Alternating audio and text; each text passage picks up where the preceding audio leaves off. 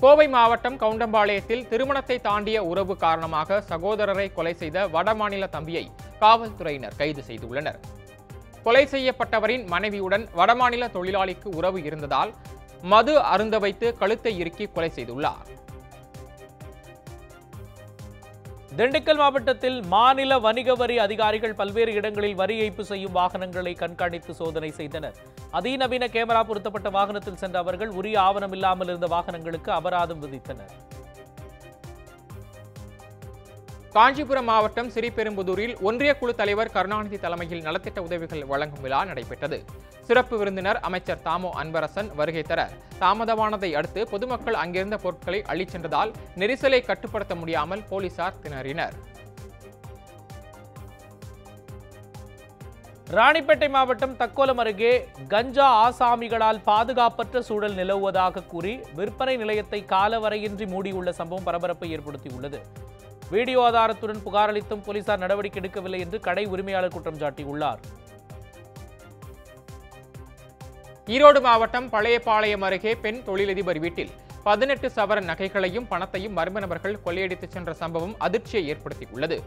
சம்பவ இடத்திற்கு விரைந்து சென்ற கைரேகை நிபுணர்கள் தடயங்களை சேகரித்து சிசிடிவி காட்சிகளை ஆய்வு செய்து வருகின்றனர். திண்டுக்கல் மாவட்டம் சானார்பட்டி பத்திரப்பதிவுத்துறை அலுவலகத்தில் நள்ளிரவில் மர்ம நபர் பூட்டை உடைத்து பணம் மற்றும் ஆவணங்களை திருட முயன்ற சம்பவம் பரபரப்பை ஏற்படுத்தியுள்ளது. இதனை கண்டு அதிர்ச்சி அடைந்த ஊழியர்கள் காவல்துறையினரிடம் புகார் அளித்துள்ளனர். நெல்லை மாவட்டம் களக்காடு அருகே அறுவடைக்கு தயாராக இருந்த ஐந்து ஏக்கர் நெல் பயிர்கள் காட்டுப்பன்றிகள் அட்டகாசத்தால் சேதமடைந்ததாக விவசாயிகள் கவலை தெரிவித்தனர். எனவே நாசமான பயிர்களுக்கு இழப்பீடு வழங்கவும் பன்றிகள் விளைநிலங்களுக்குள் புகாமல் தடுக்க நடவடிக்கை எடுக்க விவசாயிகள் வலியுறுத்தியுள்ளனர். ராணிப்பேட்டை மாவட்டம் அரக்கோணத்தில் ரயிலில் ரேஷன் அரிசி கடத்த முயன்ற மூன்று பெண்கள் உட்பட நான்கு பேரை போலீசார் கைது செய்தனர். ஆந்திர மாநிலத்திற்கு கடத்த முயன்ற நானூற்று ஐம்பது கிலோ ரேஷன் அரிசியை பறிமுதல் செய்தனர் போலீசார்.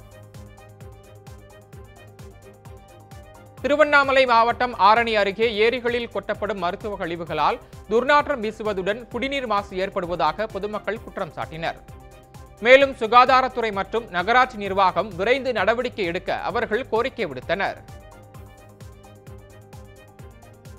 நீலகிரி மாவட்டம் சேரம்பாடி பகுதியில் இறைச்சிக்காக முள்ளம்பன்றியை கேரளாவிற்கு கடத்த முயன்ற மூன்று பேரை காவல்துறையினர் கைது செய்தனர். மேலும் வாகனமும் பறிமுதல் செய்யப்பட்ட நிலையில் காவல்துறையினர் விசாரணை மேற்கொண்டு வருகின்றனர்.